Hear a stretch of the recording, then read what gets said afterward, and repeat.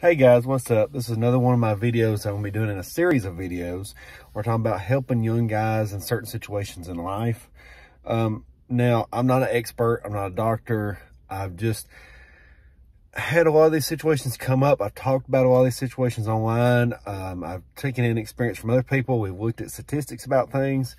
And uh, these are things that may help you kind of shortcut all the problems in life as you're growing up through like your your teens and your 20s and your 30s. So you can either take the information and try to use it or just keep flipping through to the next video of watching Yu-Gi-Oh! or something. I don't know. Um, Roblox. Um, but anyway, so I did one episode so far. This is my second episode, I do believe. And uh, since I don't really have a studio office right now because we have a six month old and he is taking over the house and taking away everybody's free time right now. Um, I have to do a lot of these videos in my vehicle right now in between going to things. But I want to take the time to try to help some people. And uh, I hope that it's semi-beneficial to you.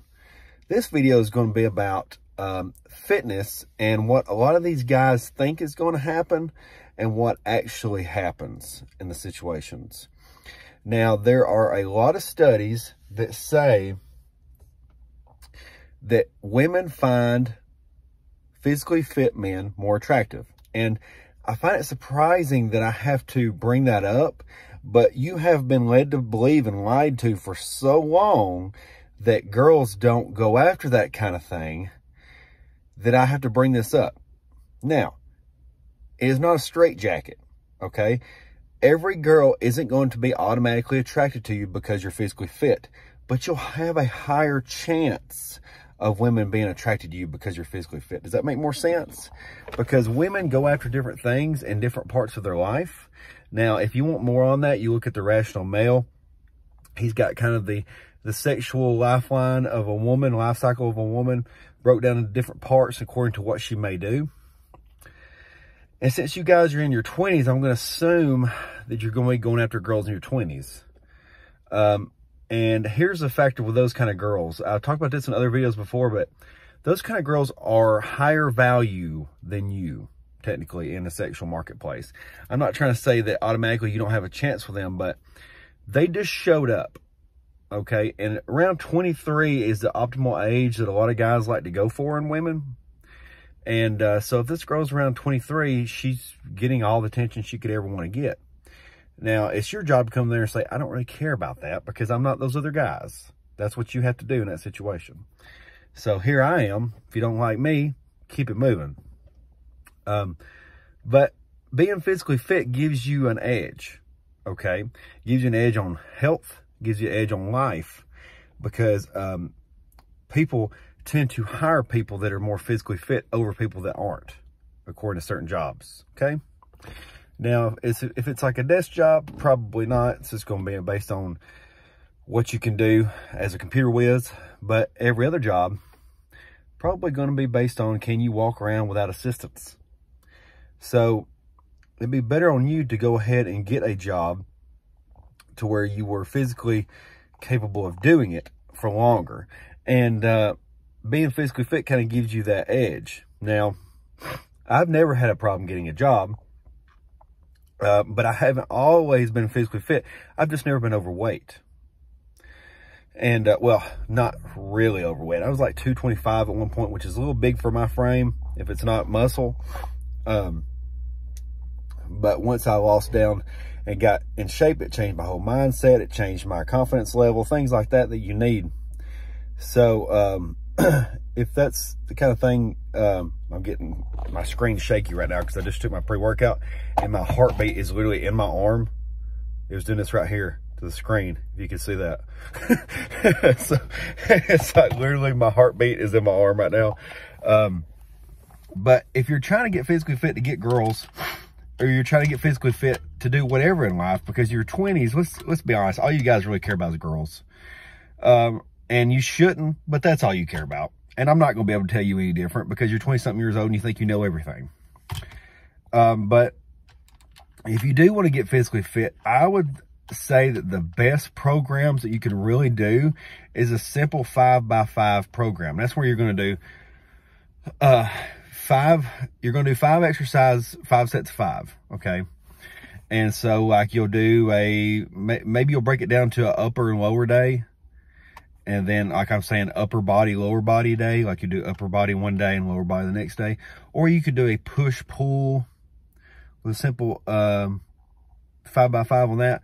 Or you could do the even more simplistic to where you go, um, you could go in there one day and do like uh, bench press. Next day you go in there and do squats. Next day you go in there and do uh, overhead press. The next day you go in there and do, um, see, bench, squats, deadlift. And you can do those simple exercises and leave. And some people say, well, that's not enough. Yeah, it is. If you're new to this kind of thing, and you go in there and you do a bench press, and you do five sets of five, and you've never done it before, that's a lot for you. And uh, so then you can kind of work it into other exercises. Okay, I'm getting pretty good at, at bench press now. I think I can do a little bit of this chest press. I think I can do a little bit of this incline press. I think I can move up to all these exercises. And then I can go in there and do like chest and tris that day. Now I'm getting really good at it. And the reason, the reason I say do stuff like this is because certain muscles grow bigger from presses, not so much from isolations. Okay. And so that's something that you got to remember is your, like your triceps grow more from chest pressing exercises than they do from actually isolation workouts. So, you know, the, the bench press and stuff is helping you grow your, your triceps a little bit. And then you start doing other press exercises, it's going to help that as well. And uh, so that's something to remember. Now, that's a good way to get in shape. And then you get your diet on point. You start meal prepping your foods. You start prepping all your foods beginning of the week, breakfast, lunch, and dinner. They're in the fridge ready to go. And if you're a younger guy and you're still living with your parents, you just tell them, this is what I need, or you go get it yourself. Whether you have a job now and you're still living with your parents, you can go get your food. And you'll just have to get some Tupperware and you just have to put it to the side and that's the way it is. Um, any kind of thing that's worth having is worth sacrificing for. And you're going to have to sacrifice to get in shape. Oh my God, it's terrible. But once you do it, you're really going to start getting, like, you're really going to start to like it. You're going to start to want to do more and more and more and more until you get to the point where you can maintain it. And you're like, this is what I like. And uh, then you can tweak it and keep going. It's a never ending process. You can keep doing stuff as you get older. And so that's gonna that's gonna be step one to getting you more confidence in life. Now, the problem with a lot of what people perceive in this situation is they think that I'm going to get fit, I'm going to get ripped, and the girls are going to be all over me. No, they're not.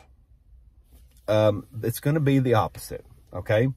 Once you get to a certain physical fitness, now you're starting to, um, you're starting to scare some of the girls off because now you're physically fit and you're a little bit intimidating and you might be better looking in their brains than they are sometimes.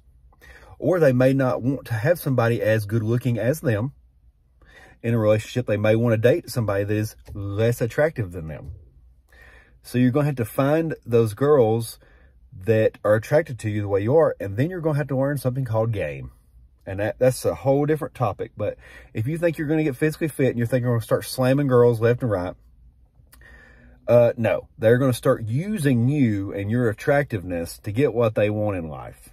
So don't be that gymcel that has no game in life, but he was a dork that got physically fit and then he thought that he was just going to date girls left and right. No, you need to be talking to women. You need to be learning women. You need to be learning what they do. You need to be learning how they play people and things like that. That's going to be the only thing that helps you. Uh, the physically fit part is the part that gets you in the door because a lot of those girls won't even talk to some guys unless they are semi-physically fit. Now, when I say I'm physically fit, I'm saying not overweight, has a um, broad shoulders, tapered uh, tapered chest, or waistline, kind of like a Doritos chip. Has the wide shoulders, tapered uh, midsection, uh, big arms, legs, chest, nice looking back, stuff like that. If you can do those things and get physically fit to where you look good in your clothes and look even better naked, you can do a lot with that confidence level. Um, especially if you're in a situation where you know you're physically attractive and the girl's talking to you and you kind of have the edge on her because you know you're so physically attractive and you're and you've got game and you've got something called irrational confidence and she can say nothing to hurt your feelings that's when you got everything in the bag, boys. But I hope this helped you a little bit. Like I said, simple five by five workout. Get your uh, diet on point. When I say diet, chicken, rice, fish, steak. Lay off the pork. Um, lay off stuff out of boxes that you can't pronounce. Eat everything simple for a while. Watch the weight start to come off. And then once you get to the point where you can maintain, then you can do other things. I ate some of the kids' Halloween candy. Okay? Did I blow up? No. This morning I ate three pancakes and drank two glasses of orange juice and then ate eggs and bacon. Am I overweight? No. I just ate some mini Starbursts. Am I overweight? No. Because I maintained myself. And uh, that's something you guys have to remember. I hope this was helpful. If you have any questions, comment in the comment section. Hit the like button, hit the subscribe button. I'll talk to you guys later, and I'm out. Bye.